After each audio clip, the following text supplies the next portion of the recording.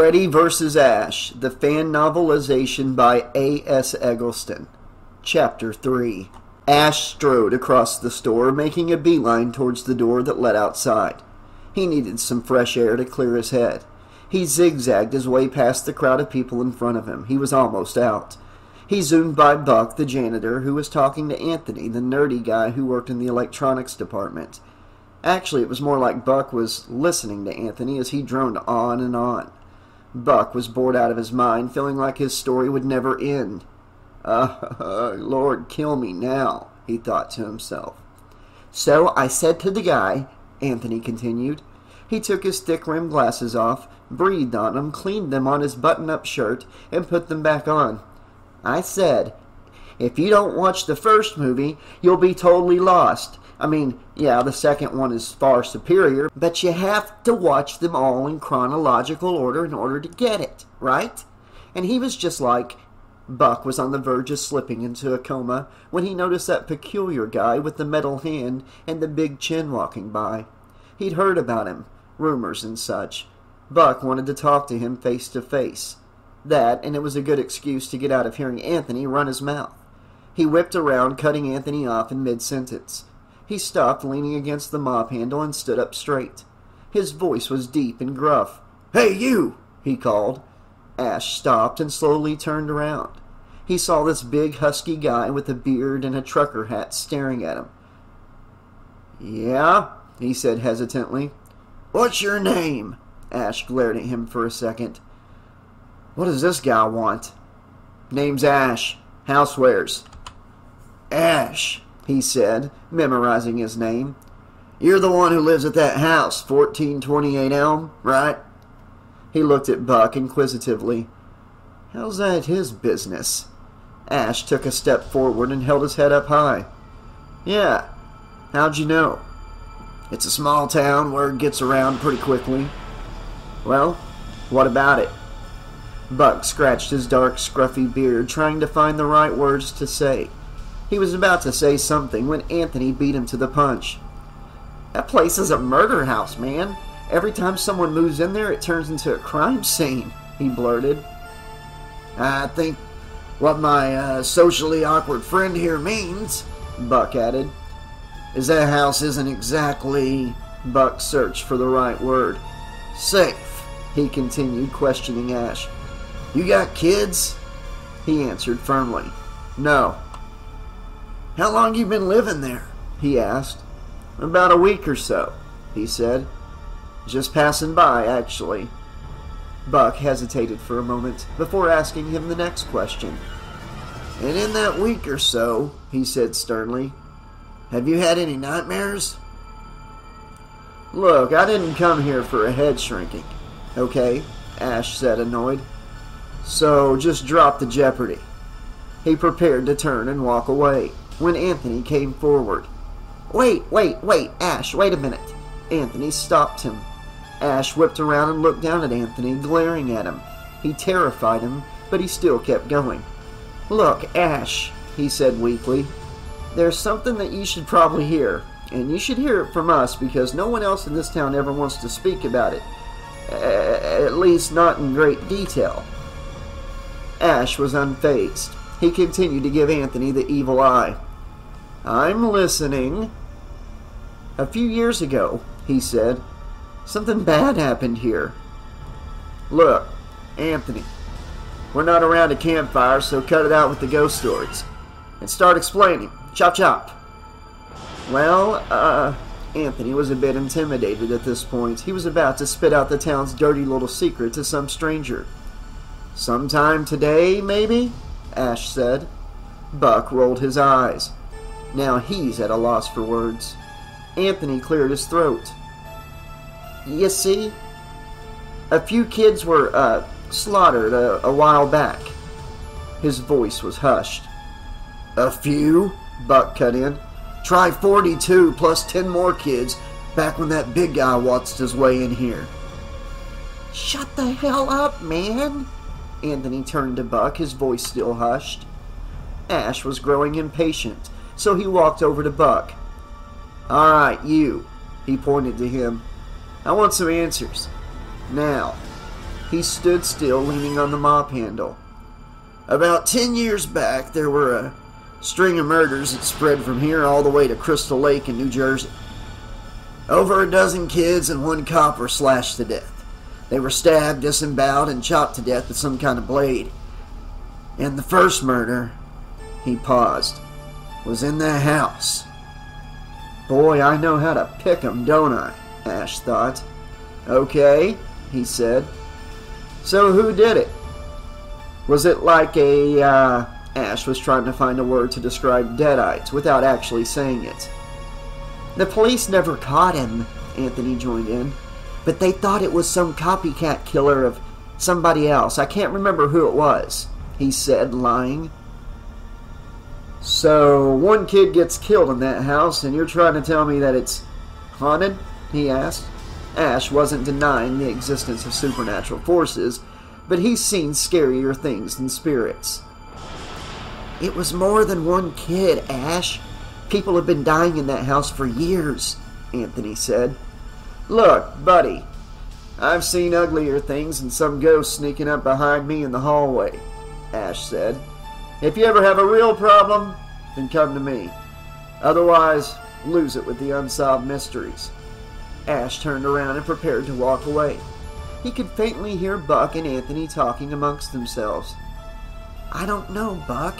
Maybe we should just tell him. I'm not going to do it, though. You do it, Anthony whispered. Ash kept right on walking.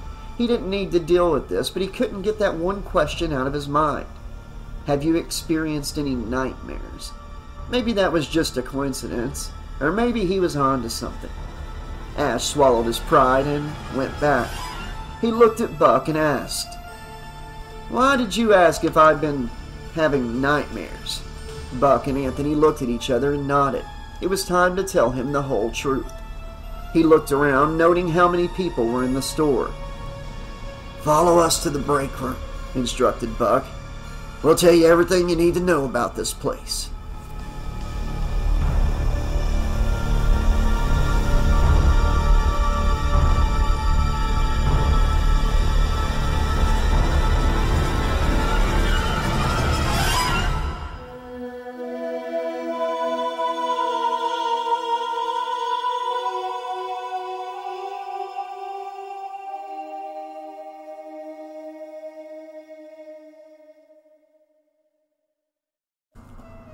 They did tell him everything. They told Ash that many years ago the nice little town of Springwood had a child killer running amok. The police had no leads. No one had a clue who it could be. Before they knew it, every child on Elm Street was missing, gone. Eventually, the police had one suspect. His name was Fred Krueger. He worked in the boiler level of the city's power plant. He lived in a nice little house on Elm Street with his wife and daughter. Well, sort of. Krueger strangled his wife to death, and his daughter was seized for adoption. The police broke into Krueger's home without a warrant. In the basement, they found locks of hair with bows and ribbons still in them, pieces of clothing, little kids' toys. They all belonged to the 29 boys and girls that were reported missing. The police even found the murder weapon.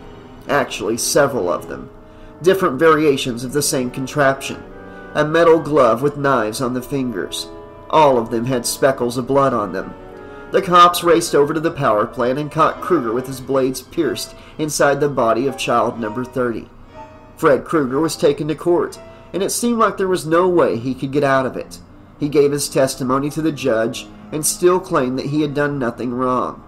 He pulled out every trick in the book. He pled insanity. His mother was a nun who was locked in a mental institution and raped hundreds of times by the criminally insane. He claimed that none of the items were his, that he had merely put on the glove for self defense. The parents in the public gallery weren't buying it, and neither was the jury. On the outside, he looked like just any other guy blond hair, blue eyes, pale, unsuspecting face. But inside was the most vile and twisted human being who ever lived. He just sat there with phony sincerity for the lives of those little kids. Unfortunately, because the police searched his home without a warrant, all of the evidence they found was inadmissible in court. Krueger was free, just like that, even though he should have been put to death for what he did. He walked down the steps of the courthouse, arrogant and smiling. Later that day, he returned to the power plant to begin a new killing spree. It had been a while, and Krueger was just aching to lure the next little kid into his rusted, bloody boiler room. He didn't just kill them. He'd lure them in, promising them candy and toys and whatnot. Then he'd trap them, keeping them locked in the boiler room for hours, just to watch them beg and cry. He loved it when they cried, especially the little girls, because they were just so fragile. Then he'd corner them, scare them, terrify them, and finally, when all of their innocence had been taken away, he'd kill them slowly with his knifed fingers. He threw their dead bodies in the furnace to be burned, leaving no evidence, just in case. Krueger was plotting his next move when the parents of Springwood joined together and set the whole plant on fire. They stood together, taking justice into their own hands as they watched it burn to the ground. Fred Krueger was dead. But that wasn't the whole story. Ash felt as if he'd heard enough. He'd seen disgusting excuses for human beings, but this story made him gag. Buck and Anthony continued to tell him that yes, Fred Krueger was dead, but only for a short time. Ash kept waiting to hear that he came back from his grave to swallow people's souls, and unfortunately, no one had a shotgun on hand, but he never did. Many years after his death, children were reportedly dying in their sleep. They would have such horrific nightmares, they claimed, that they were afraid to go to sleep, believing that they would die. These kids have reported seeing a man in their nightmares with burnt skin, razors for fingers, and went by the name Freddy. What Buck and Anthony couldn't explain, however, was exactly how this Freddy guy would appear in a bunch of teenagers' nightmares and kill them in their sleep. So, with their long and sordid tale at an end, Ash left them and carried on less confused, but more afraid.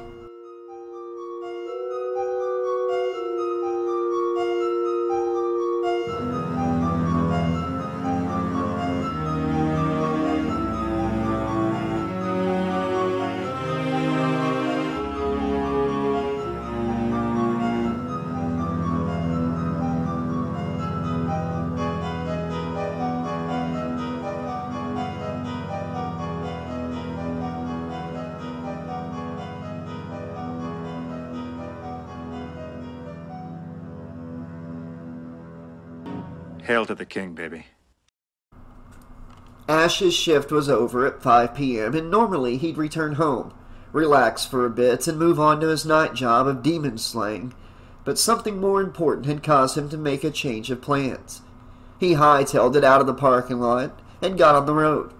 As he drove, Ash took one hand off the wheel and dug in his shirt pocket. He pulled out the note that read the words Klaatu Verada Nikto just to remind himself one last time, because this time he planned on doing it right. All right. I think I got you now, he said to himself.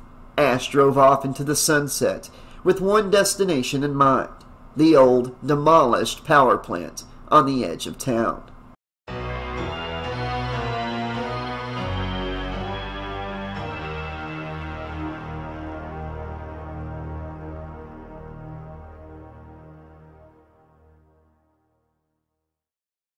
Chapter 4 The road stretched out for miles, winding from left to right on the outskirts of Springwood.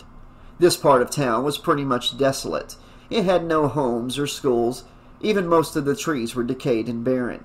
Even so, the tallness of the trees on both sides of the road enveloped the pathway. The rickety branches creepily loomed over as if forming a tunnel high above the road. This was a sight all too familiar to Ash. As he slowly drove down the narrow road, he examined the nature, or lack thereof, surrounding him. He had a gut feeling that the Necronomicon had to be hidden somewhere in this isolated area. The further Ash drove, he could see a small figure in the distance. He figured it must have been the old power plant. He cruised his way out of the trench of woods and into the open trail that led to the plant. It was completely deserted, and there was not a shred of plant life to be seen. A strange feeling washed over his entire body, like his conscience letting him know this was a bad place to be. Before he knew it, he ran over a dip in the road which caught him off guard. The sudden rise and fall of the car caused him to slam on the brakes, stopping the car to a screeching halt, nearly causing him to bang his head on the steering wheel. He looked up and noticed he was right in front of the power plant. I gotta stop daydreaming, Ash said to himself. He stepped outside his car and walked up to the building, surveying it. It was about 50 feet tall and appeared to be 5,200 square feet. It was quite a large facility, although most of the building structure had been demolished. The plant was condemned shortly after Freddy was murdered, so the building eventually decayed over time. The ground was laden with bricks, pipes, and other kinds of debris. The twin smokestacks still held up. The one on the left was covered in grime and soot, while the right had been cut off in the middle. The rim was cracked and pointed like a crown. The sun had set behind the power plant, forming a silhouette all around the building, and contrasting the orange-pink coloration of the sky with the utter blackness that surrounded the plant. Ash walked around to the left wing of the building and saw the lower level. It had rows of window openings on each side of the walls, but no glass. There was black soot that spread from the top of the windows and upward. Ash walked closer towards the lower level and heard a crunch at the base of his shoe. It was broken glass. This must be where all the action happened. Ash pushed on the metal doors, but they wouldn't open. They were covered in too much rust. Ash rammed it once with his shoulder, then twice. When he banged on it for the third time, the door finally busted open. It made a horrible creaking noise as it swung open. The whole area was pitch black. The only light that came through was from the door and the openings in the window panes.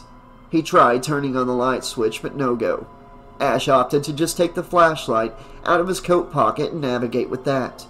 The boiler level was so spacious and high. It was like a huge rusted cave. If the book was here, how was he even going to find it? He explored it for a while, tunneling his way through all the boilers, water heaters, and the swarm of pipes that surrounded him.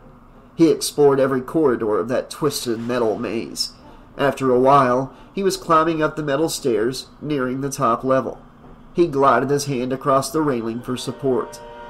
They were cold and brown with rust. Ash looked down below to the ground and nearly got vertigo from the height.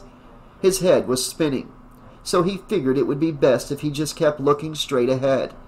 The grating creaked with each step he took. Out of nowhere, Ash heard a loud squeal, piercing his eardrums. He jerked his head in the direction it was coming from, searching with his flashlight. So many questions raced through his mind in that fraction of a second. What was that? Is this old rickety grate giving out? Am I going to fall to my death from up here? Was that a person? Is there someone else with me? Am I hungry? Does this Freddy guy still roam here? Why didn't I bring my boomstick? Following the squilling noise was a loud clunk. A pipe broke loose and fell down behind him. Ash sighed in relief and laughed a little bit to calm himself. He pointed his finger at the pipe as if it fell on purpose. Yeah, real funny. He turned back around, stepped forward, and was immediately engulfed with chains hanging from the ceiling. He gasped in surprise. He could have sworn he didn't see those chains before. There were several wrapped around him, like boa constrictors. He examined them more closely. He grabbed one and held the flashlight above it. It was covered from top to bottom in dried blood. Blood that belonged to a little boy or girl, most likely. Ash let go of the chain in disgust and wiped his hand on his pant leg. He unwrapped himself from the chains. All right, Ash said. Get it together, he assured himself and resumed down the stairs. He was back down on the lower level and ready to just give up and go back home. He walked closer to the exit when the light from his flashlight spotted something that caught his attention. There was something on the floor, just slightly left of the double doors. He looked down to the floor and saw more dried spotted blood, except it was in some sort of a trail. Ash veered away from the exit and decided to follow the dark red line. He noticed a large furnace nearby and walked toward it. Maybe it's hidden in there. He opened up the furnace door but didn't find the Necronomicon. All he saw was remnants of tiny rib cages, little broken skulls and other bones. Ugh, he said in disgust. Those two weren't lying. He resumed following the trail. Finally, when it stopped, it ended on what appeared to be a cellar door on the floor. Of course, he said bitterly. It's always got to be in some god-forsaken cellar. He opened up the door and used his flashlight to search the entryway. It was pretty deep. Ash looked behind his shoulder and noticed that it was already dark outside. Should I really be wasting my time like this on the possibility that it might be here? He wondered. He looked back down into the cellar. It probably won't take that long. Might as well. He went for it. He delved deep inside the earthen floors of the cellar. This was the part of the boiler room that was completely hidden and isolated. So, of course, it was perfect for Freddy to hide. Or to play. Little games with the children. Ash found himself in the main corridor of the cellar. It was much like the rest of the whole boiler level, just smaller. He passed through all of the pipes and pressure valves and didn't find a thing. Trenching a little further past all of the equipment, Ash did find a tiny room no bigger than a walk-in closet. A feeling of strange uneasiness increased within him. The hairs on the back of his neck stood up, and he instantly got goosebumps across his forearm. It's here, somewhere. I just have a feeling about it. There was a shovel in the far corner of the room. Without a second thought, he grabbed it and started digging the ground beneath him. He broke away the foundation with the shovel, digging deeper and deeper and deeper. Clink! Finally, at around four feet under, he stopped. There it was. He could see it with his own eyes. Naturom Demonto, the Book of the Dead. It still looked faintly similar to how Ash remembered it. The book was wrinkled and rotted, and rightly so, since its front and back was constructed from human flesh. The front cover formed the shape of a disfigured and demented grimace, as if the book itself was being tortured. It was pretty much the same, except it had a little more wear and tear. My God, Ash gasped. There it is. Ash threw the shovel aside, making a loud noise as it hit the floor. He dropped to his knees. He wiped the sweat from his forehead and extended his arms, ready to grab the book. He stopped himself right before his fingers touched it. Wait, Ash said to himself. The words, the words. Jeez, almost forgot. He cleared his throat and sat up straight, preparing himself. He inhaled deeply and professed the words dramatically. Klaatu! he shouted. He paused for a moment to remember if that was correct. Verada! One more to go. Nosferatu! I mean, Nikto! Nikto! Ash became nervous. Last time he screwed up like that, an entire army of the dead rose from their graves and came after him. He didn't want that to happen again. He said it one more time. This time a little quieter, more genuine. Klaatu! Verada! Nikto! Ash pulled the book out of the dirt and held it close to his face. He smiled in content, regaining his breath from the overall adrenaline he put himself through to find it. Ash looked dead straight at the Necronomicon. Finally, he said. Soon, you and I are going to be no more, buddy.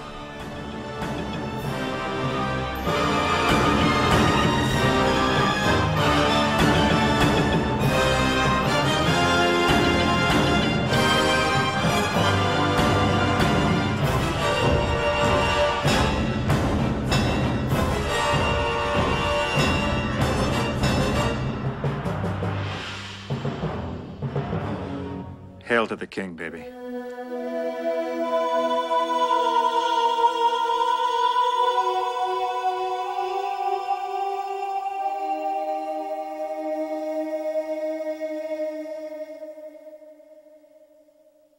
It was pitch black by the time Ash had left the building. His muscles were sore from having to excavate and dig to find that book. He stumbled his way to his Oldsmobile, popped the trunk open, and threw the Necronomicon inside.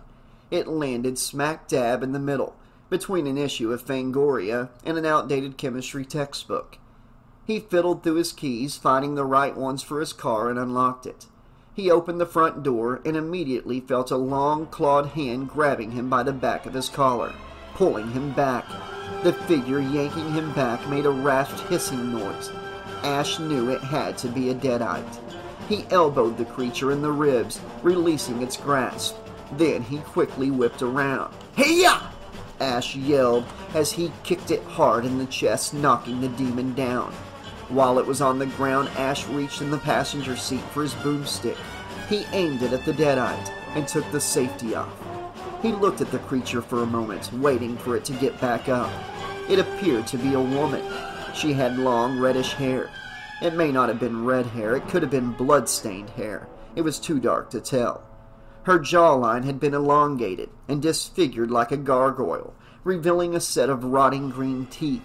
Her skin was grayish and flaky, like it was peeling off of her, and her eyes, her eyes were blank and bloodshot, with black circles under them. Then the she-demon leapt up quick as a cat and said to Ash in that distorted, monstrous voice, You will never stop us. His time is coming, and he will be free, and you shall die. And who might that be? Ash teased the deadite, never breaking away from his target. The demon jerked her neck back and forth and left to right, making a gut-wrenching snapping noise as she did so. Freddy, The demon laughed sinisterly. he will return, and you will be his servant in hell. She laughed gleefully. Oh, yeah? Ash said, nonchalantly. Tell him I said this. He pulled the trigger, blasting the demon in the head. Her head exploded into little bits, spraying blood and brains all across the dirt. Her eyeballs and chunks of her brain scattered everywhere, like pieces of popcorn strewn across the bloody ground. Ash was surprised. Huh, I didn't think those deadites had brains. She was just a body without a head now. Her neck gushed a wave of black blood across the ground. Her spine was partially exposed above the cutoff point in her neck. The rest of her body just laid there. Her legs were bent opposite directions, and her gray, decrepit arms were permanently locked upwards. Ash placed his shotgun back in the car. He started up the engine and left the abandoned power plant. His red tail lights shrank in the distance. He escaped the rusted tomb, leaving nothing but a trail of dust and a deadite corpse behind.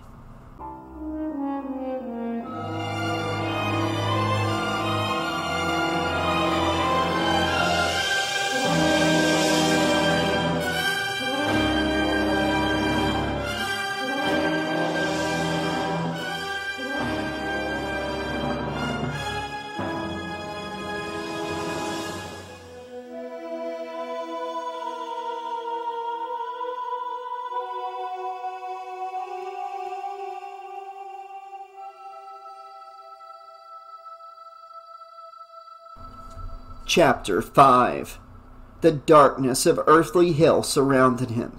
He was trapped between two worlds, between our own and one much darker, much more sinister and destructive. Enveloped by the malign fires, with black smoke under his feet, Freddy Krueger stood tortured as he was being forever pulled between the spaces of the living and the dead. This was the fine print and the part of the deal he made when he sold his soul to the Dream People. Shredding innocent blood and feeding off their young souls would keep him strong. But when the killing stopped and he was banished back to the evil realms beyond, he was weakened. Freddy was back into the eternal darkness, the everlasting pain. After what seemed like a hundred lifetimes caught inside this evil abyss, Freddy had an epiphany. No longer was he going to follow the law of the demons. Countless times he had been defeated and stripped of his power. Freddy set his sights on a new target, the source of his power, the ultimate source of demonic evil, the Necronomicon Ex Mortis, Naturom Demonto, the Book of the Dead. Whatever they called it, it is the foundation of supernatural evil, the evil that has spawned countless others to do its bidding. With it, Freddy would never be defeated again. He would be immortal, eternal, forever. All he needed now was someone to get it for him.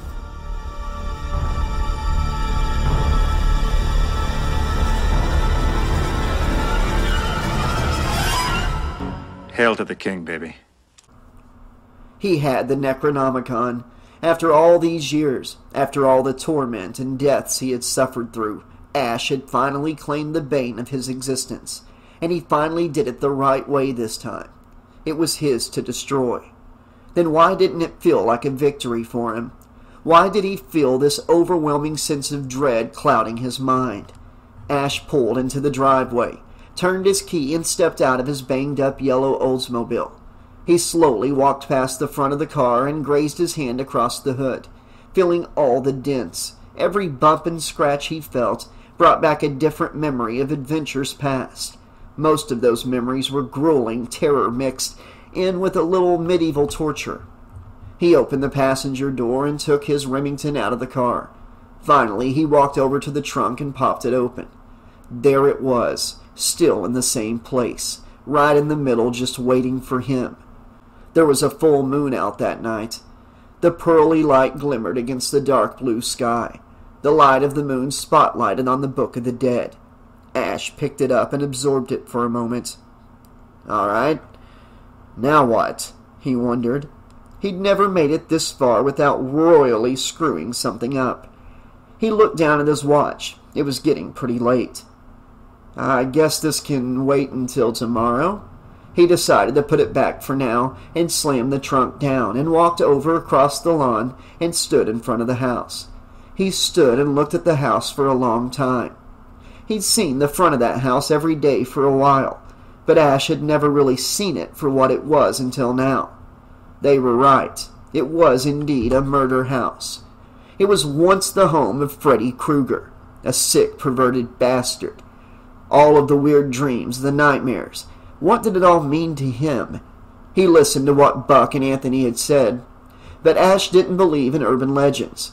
He only believed in what he could see, touch, and feel, and what was trying to kill him at any given point in time. And the foul things that lived in the book made no trouble making their presence known. For all he knew, Freddy Krueger was dead and rotting in the earth. Ash walked up the front steps and opened the front door. The door opened wide and made a low, creaking noise. Every bone in his body ached in pain. His head was swimming, making Ash walk a little unbalanced. He took slow steps and tripped on himself a few times as he walked past the staircase in the front of the room and on to the door that led to the basement. The door was adjacent to the living room. He opened it and was immediately met with a thin closet sized entry leading downstairs. He made his way to the basement, which was lit by a single light bulb hanging from the wall. He grew accustomed to this particular setting he walked across the spacious room to his workbench. He laid his double-barreled Remington next to his chainsaw in the top left corner of the bench. Two other weapons of his were on the bench, a pump shotgun and a 9mm pistol.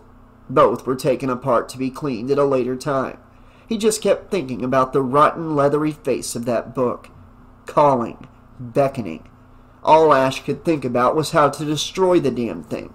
The Book of the Dead had survived thousands of years, hundreds of natural disasters, dozens of plagues, and one average everyday excuse for a chosen one. How would tonight be any different? He'd accomplished enough in the last seven hours, so Ash decided to call it a night. He grabbed a rag off the side of the bench and used it to wipe the sweat and the droplets of blood off his face. He could work on destroying the book tomorrow. Right now he was tired. Ash was so exhausted, he didn't even want to bother going upstairs to the bedroom. The couch will do just fine for now. He planted a seat in the middle, grabbed the remote, and turned on the local news. That would usually put him out for the night. The television turned on to Channel 6, KRGR, the local news station. Ash fluttered his eyes, drifting in and out of consciousness as he listened to the soothing narration of the attractive brunette anchor woman. The police have no further details on the disappearance of Audrey Hamilton, a teacher at Springwood High and a mother of two. The anchor woman was sitting behind a desk. In the far corner was a reference picture of the missing woman. She was smiling, her hand on her cheek, with her elbow propped on her desk. Her hair covered most of her face. Her hair was long and red. Red hair. Ash sat up straight and became more alert. It was her. It was the same woman who attacked him earlier, except her skin wasn't decayed and her jawline wasn't deformed, making her look like some kind of gargoyle. She was just a normal woman in that picture, happy, smiling, and full of life. Oh, how things can change so quickly. The newscaster continued. On a related, more disturbing note, the bodies of other missing persons have been found, mostly outside of town, their limbs severed, and Ash turned the TV off. He didn't want to hear any more. He set the remote on the coffee table. He buried his head in his hands and took a long, deep breath. This was one of the more depressing parts of the job, realizing that he'd just taken the life of what was once an innocent human. Someone who never did anything at all to deserve this. Seeing their faces on the news and watching their friends and family mourn for them. Sometimes it was just too much for him. He rubbed his eyelids, trying to somehow wipe away the sadness from his face. Click. The TV turned back on. But how? Ash had put the remote away. His eyes went wide as he jerked his head up to look at the television. Their heads decapitated in some of our findings. There was the newscaster again. Her demeanor was somewhat different. Her serious face and genuinely caring tone was replaced with a coy smile. She sounded like she relished every word. Their skin had been decayed, far past their presumed time of death. When she began that sentence, her voice changed. With each word, it had slowly gotten lower, like a man's, although even a normal man's voice wouldn't sound this guttural and wretched. What's going on here? All of the bodies had what appeared to be fatal wounds with a type of saw and shotgun blast to the head. Her voice by now had gotten just downright evil. Freddy. The police suspect, that bastard, Ash Williams, will hunt that rotten son of a bitch down like a no good, dirty dog. Ash turned away from the television screen and locked his eyes on the remote. He had no idea what was going on, but he didn't want to suffer through any more of this. The background noise still echoed as Ash quickly grabbed the remote and searched for the power button. Yeah, you're chosen all right. Chosen to have your fucking skin ripped off.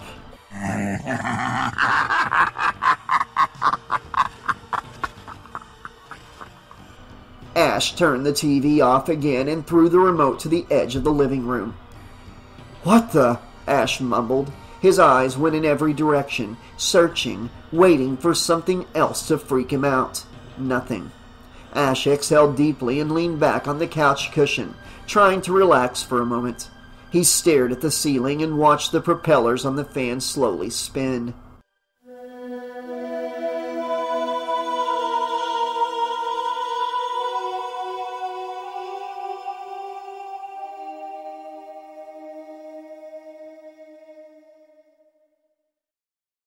He watched him intensely, sitting just on the edge of the couch next to Ash. Freddy stared at him with a foreboding gaze. He took pleasure in this part of the game. Ash was getting weaker, debilitated. Freddy watched his bloodshot eyes flutter. His skin had gotten paler, like he'd just seen a ghost. That part never got old. Poor Ash had tried to stay awake, but it was already too late. Freddy cocked his head to the side and wriggled his finger blades in anticipation. Now the torture could begin. Whoa! Ash yelled. He jumped in his seat and whipped his head to the right. He could have sworn he heard the sound of knives clinking next to his ear, but there was nothing there. Ash breathed heavily. Whatever he saw, it sent shivers down his spine. The goosebumps on his arms reappeared. He had no clue what was going on, but he knew one thing. There was someone in the room with him. He looked around him, but there was no one there. He figured it must have just been his imagination, nothing more. He looked at the wall clock across the room. It was past two in the morning. He'd been awake more than 17 hours. Of course, he'd be hallucinating. Seeing and hearing things that were not and should not have been there. Becoming nervous and a little paranoid from it all. He'd had a rough night and he was very fatigued. He needed rest. Of course, he thought. "E- Everything's fine. All I have to do is relax. Clunk, clunk, clunk, clunk. Ash heard a noise coming from upstairs. Huh? What? What was that? He thought. It sounded like footsteps. Slow, creeping footsteps. Is there someone upstairs? All of the windows were locked. There was no way someone could have broken in without him hearing something. Then he heard a different noise this time. It came from different parts of the house. It was a very loud creaking noise like the foundation settling. Ash turned in all different directions trying to locate where the sound was coming from. But it came from everywhere. It was a multitude of various creaks and other kinds of racket. Ash leapt from his seat and stood in the middle of the living room. He was alert and ready for whatever was going to happen next. Without pause, the doorknobs on the front and back entrances started to rattle and shake violently. The doors themselves produced loud banging noises like someone was beating on them from outside.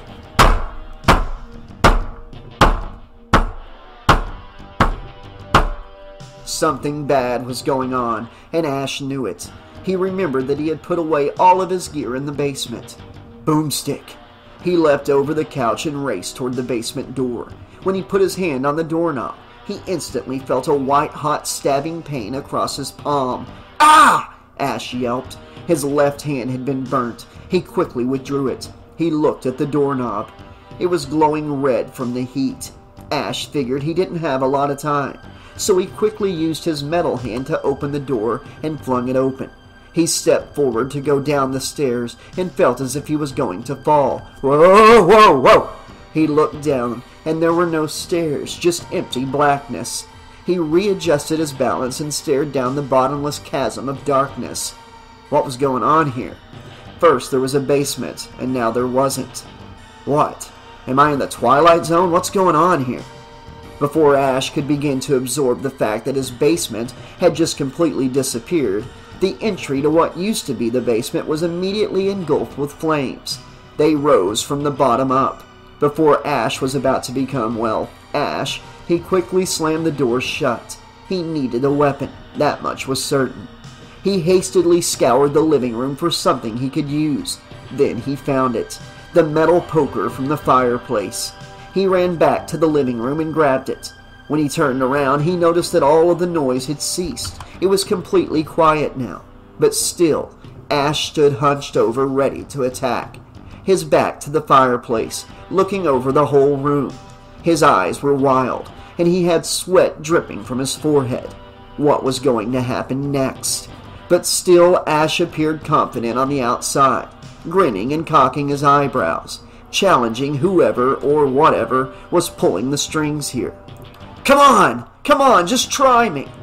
He said, still catching his breath. This poor bastard isn't giving up without a fight. Freddy thought. He had to admit, it was a little more fun messing with someone who had a little bit of personality. Someone who didn't just stand there expressionless like an idiot. And at least he fought back. Well, if one could call that fighting. It was different than just some doe-eyed bitch in her nightgown, running and screaming for help. But still, this still bugged the living hell out of Freddy. Why did it always have to be so difficult coming back from the dead? he thought. He watched him, huddled up and shaking like the poor sap that he was. He delighted in his torment. Freddy cracked an evil smile.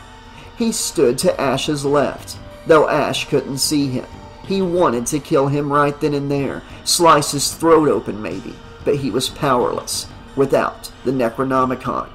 Soon enough, He said, while Ash was oblivious to his presence. I'll have that book and your soul along with it. But I'll have to wait until you're weak enough to finish the job. He needed to weaken Ash, completely remove his strength and his will to survive. Then it would be the perfect time for Freddy to strike. But until then, Freddy inched a little closer and reached out his gloved hand. Slowly, he flicked his index finger forward and tapped Ash on the shoulder. Tap, tap.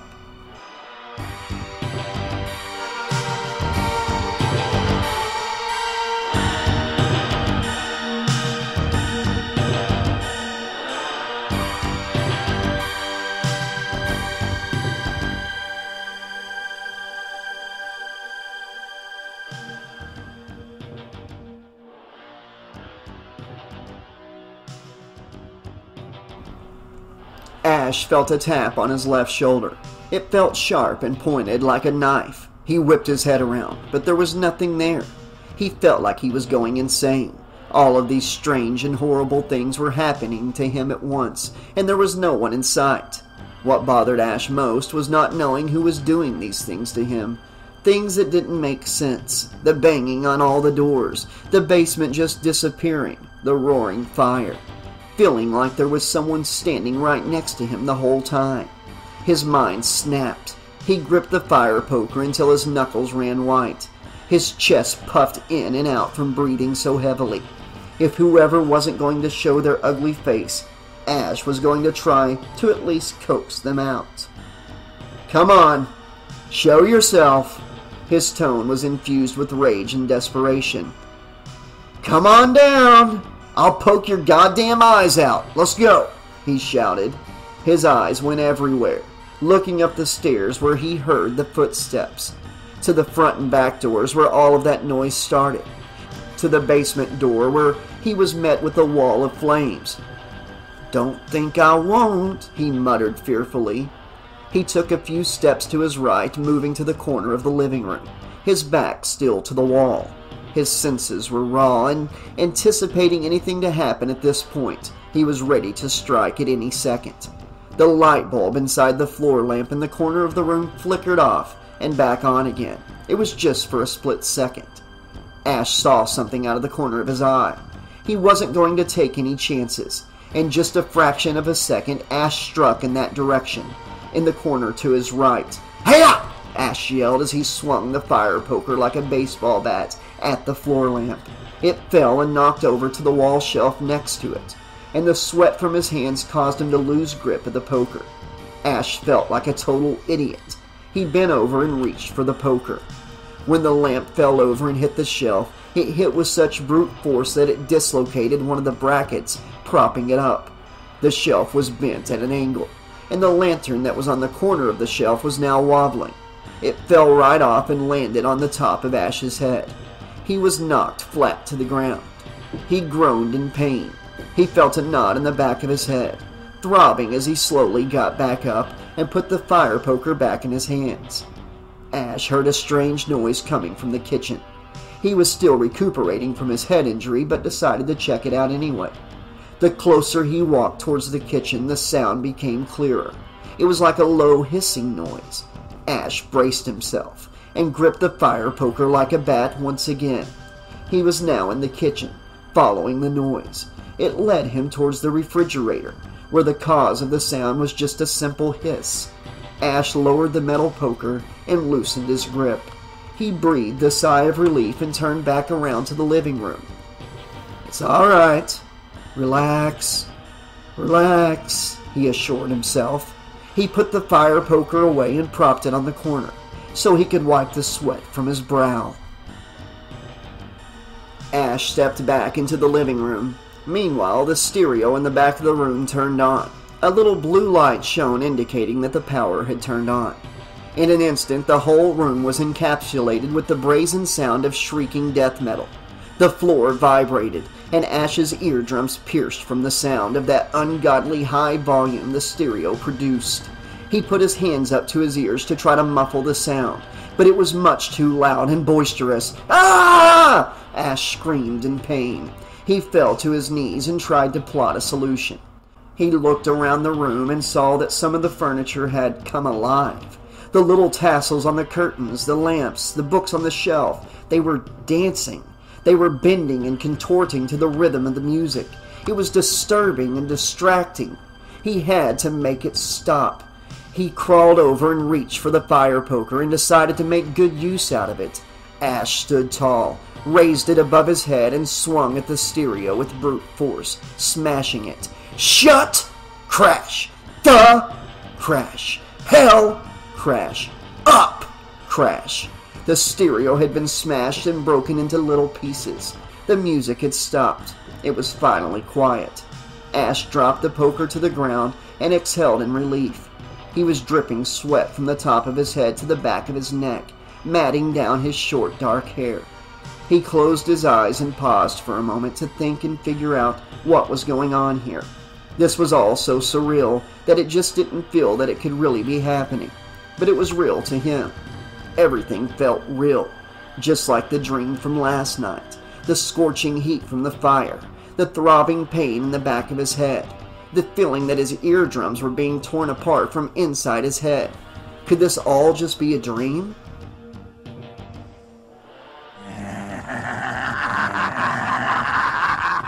There was that laugh again.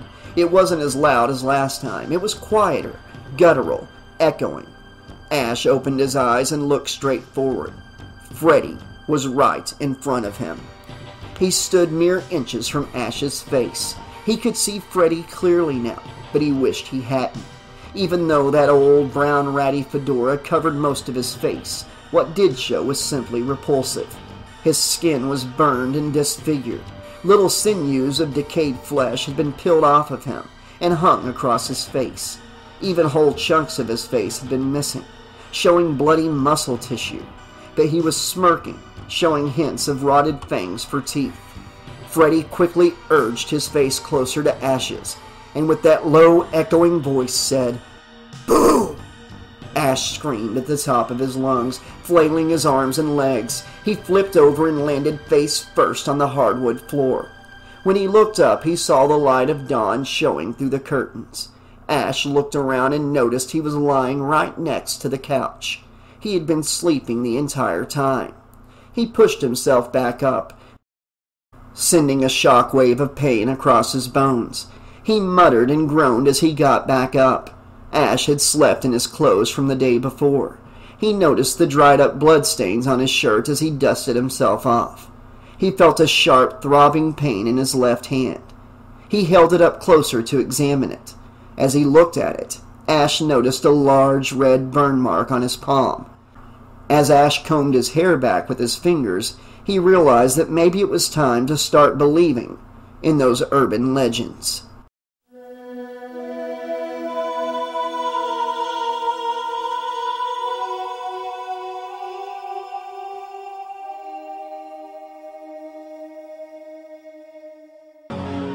Hail to the king, baby.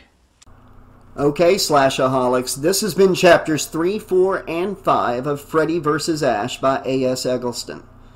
I am deeply, deeply sorry for the long period of time since the last upload of this book. I've been dealing with some personal issues, uh, some work issues, and have been sick a couple times since then, and it seems like every time that I get around to being able to narrate, something would happen where I'm not able to. Um, I was barely able to get out the podcast and the Slash Trax episodes uh, since the last time I put out a narration of this book. I'm going to try to make sure that I put these narrations out quicker. I really want to because we got some great stuff coming up, uh, like Friday the 13th, Part 5, the novelization, a fan novelization. Uh, written by Landon Turner, who you will remember also wrote the Friday the 13th Part 4 fan novelization, and it was an amazing job, very much in the vein of uh, Simon Hawke. And he's also working on a novelization for Part 7, and I believe he's going to do uh, Takes Manhattan and also Jason Goes to Hell. So that's going to be really awesome to have every Jason movie in book form here on the channel. Um, I would also one day like to be able to narrate like a Freddy's Dead fan novelization if someone writes it. Uh, but as far as this book goes, I'm really enjoying the tone, uh, getting right into the action here. We get some cool Deadite stuff. I do have a few questions like how did the Necronomicon end up buried at the factory? Uh, how did he know to go there to get the Necronomicon? Uh, stuff like that. But you know what? It's all in good fun. It's Freddy and Ash. I'm not going to ask too many questions. I'm just going to enjoy uh, the fact that we get these two iconic characters clashing. And it's a lot of fun to be able to voice Freddy again. You can hear it takes a toll on my voice right now. Uh, it's been a minute since I've done it. Um, yeah, I'm curious to see where this story goes. You know, I love that Freddy's fucking with him. And I love the line that Freddy delivered and the nightmare uh, that Ash was having, like with Freddy, uh, you know, doing the voice on the news and all of that. It, it just, it's a really good job by A.S. Eggleston. Uh, there are a few questions I have, but, you know, she probably just had to make the story work and bring them together the best she can. And in my opinion, she's doing an amazing job at that. I am very entertained so far. I'm excited to continue reading this book. If I thought my voice could hold out, I would have put out, you know, maybe another chapter or two with this upload.